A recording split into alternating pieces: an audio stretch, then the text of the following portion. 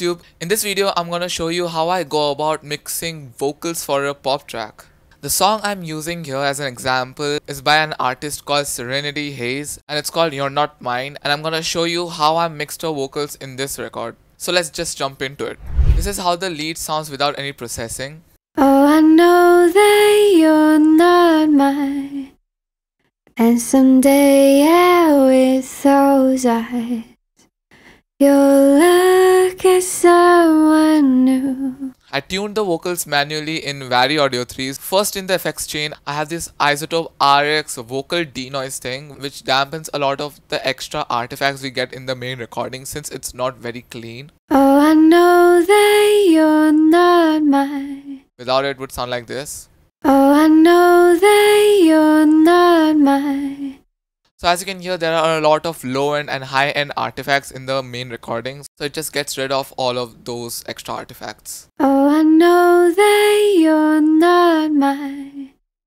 Secondly, I have this main EQ, which is cutting out the main low frequencies. I don't, I don't need anything under 100 Hertz. So I'm cutting out all the low rumble noise from the signal. And these two points here are just two resonant frequencies that stood out to me and I could hear that I didn't quite like and they sound like this.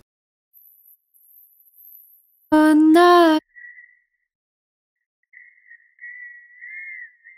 Taming some of the low mids here because they're popping out too much. Oh, I know that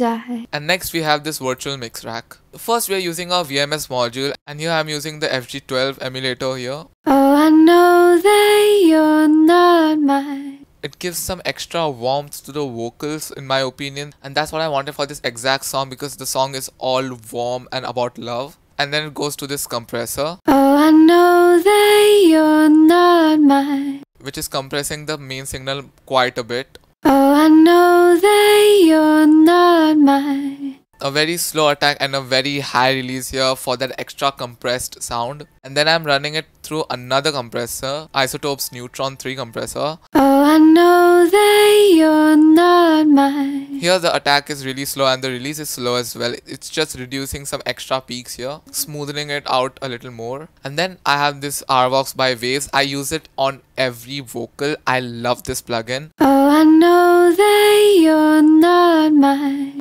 The RVox is really gluing the vocals together and giving it a very warm character that I really like. Oh, I know that you're not mine. And someday, yeah, with those eyes. Then we move on to de-essing. I'm using Pro DS as my main de-esser. Oh, I know that you're not mine. And someday, yeah, with those eyes. It's reducing quite a lot of peaks with the S's and the sibilants. And then we have another de-esser which is de-essing the harsh nasally sounds along with some more S's and acting like a general shimmer control of sorts. Oh, I know that you're not mine.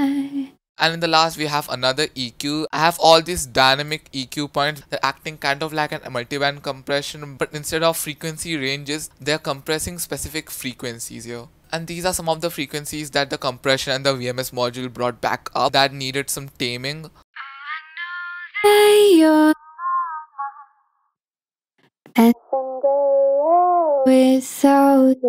Just balancing out the entire frequency spectrum with these. And for the sends effects, first I have this vocal parallel widening that gives a little more width to the lead vocals. Oh, I know that you're not mine. I just have this doubler 4 here. And next I have this short reverb, Know that you're not mine. which is just a small room reverb. Know that you're not mine. Next we have this 1 4th stereo delay. Know that you're not mine. It's just repeater on one fourth, And then we have this long reverb, Know that you're not mine. which is just this Valhalla VintageVerb, which is getting filtered out with a Pro Q. And someday, yeah, with those. And lastly, this 1 8th delay, which is just repeater on 1 8th settings and again filtered out. So that's it for the lead vocals. Next we have these doubles, Know which are just spanned hard left and hard right with the same effects chain. Mine. And someday yeah, with those eyes here we have a lot of harmonies as well and I just have this M double tracking on all of these tracks and just giving the illusion of it being recorded twice.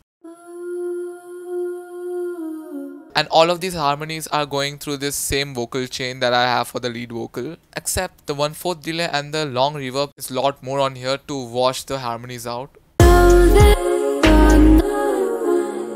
And in the final chorus of the song we have a lot of these ad-libs as well.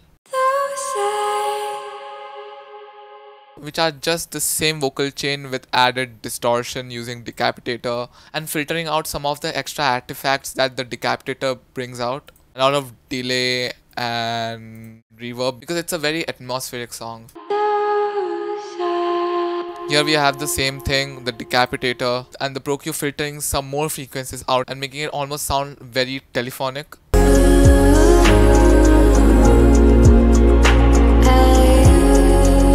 So that's how I go about mixing vocals for an ambient pop track like this. You can check out the full song in the description and hope you enjoyed watching this video. If you did, leave a like and subscribe to the channel if you're new here. And I'll see you next Friday. Bye bye.